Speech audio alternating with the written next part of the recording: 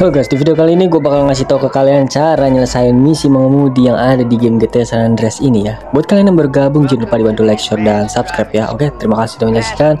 Selamat menonton. Oke, di sini gue bakal ngasih tahu ke kalian gimana caranya. Langsung aja kalian simak video ini guys ya. Gue akan kasih tahu ke kalian cara-cara menyelesaikan misi sekolah mengemudi yang ada di game GTA San Andreas ini. Oke, let's go.